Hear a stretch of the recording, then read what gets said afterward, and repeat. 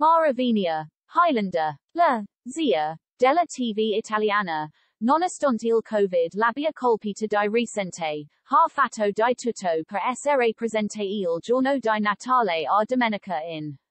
E alla fine ce riuscita, missione compiuta. Nessuna congiunzione da remoto da casa, sarebbe stato il piano B.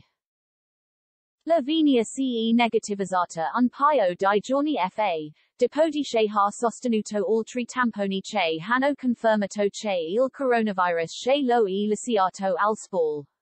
Così, Eccola in video launch domenica 25 December, a quanto per, però, non in diretta, ma su tail punto si tornerà in seguito. Mai come oggi sono felice di essere qui. Eben, come sapete ho avuto il Covid. Mai l'avevo provato. E stata dura.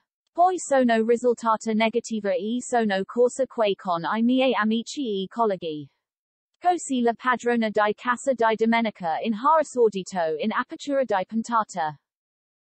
Spazio poi a una dose poderosa di positività, con tanto di battuta romanesca. Au, sto carica a palatoni, con tutto il Bentelan che ho presso santo proprio carica, ha sottolineato, in riferimento al farmaco di cui ce imbottita per curarsi.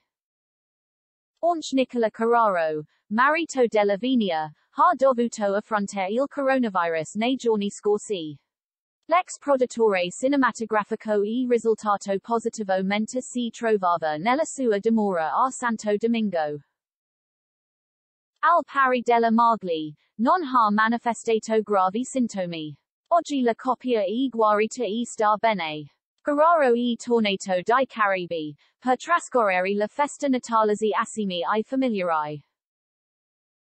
Domenica in è stata trasmessa in diretta su Rai Uno il giorno di Natale. L'emittente, sui propri canali social, ha sottolineato che il programma sarebbe stato in diretta, ma a quanto per la puntata del 25 dicembre è stata registrata.